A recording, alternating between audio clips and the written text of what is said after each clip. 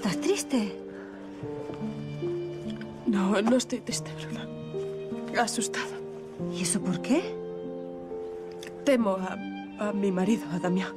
Pero él no está aquí, ¿no? No. No, pero Gabriel le ha pedido la nulidad matrimonial y él ha dicho que sí. ¿Eso es bueno? Sí, claro que es bueno, pero... Pero temo que sea una treta.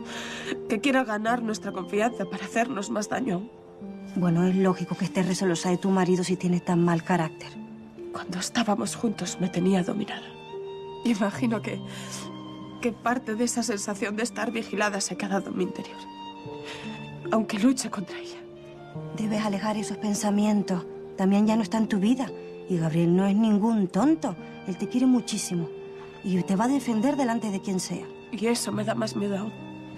Damián es muy peligroso y odio cargar a Gabriel con mi pasado. También está Federico. Él es policía y sabe tratar con criminales. Sí, eso es cierto. Por muy peligroso que sea tu marido, no va a poder con ellos dos. Espero que así sea. Todo lo que Damián tiene de inteligente, que es mucho, lo tiene de despiadado, Bruna. Por eso le tengo tanto miedo incluso ahora. Si le tienes miedo, le das más fuerza. En una ocasión me, me persiguió durante días. Cuando por fin me dio alcance, me cerró en una habitación a oscuras. Fue horrible, perdí la noción del tiempo. Cuando decidió dejarme salir, descubrí que había pasado casi un mes. ¡Qué horror! ¿Y Gabriel sabe todo eso? No, y no le digas nada, por favor, Bruna. Vale, no te preocupes, yo no le voy a decir nada. No es necesario que sepan las humillaciones por las que ese mal nacido me ha hecho pasar. No te preocupes, mis labios están sellados. Y lo peor es que me tenía tan dominada, Bruna, que, que después de todo aquello seguía años con él.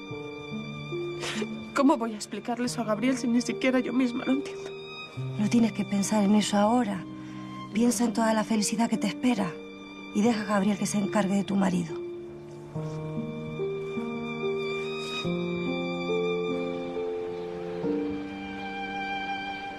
¿Qué sensaciones has tenido con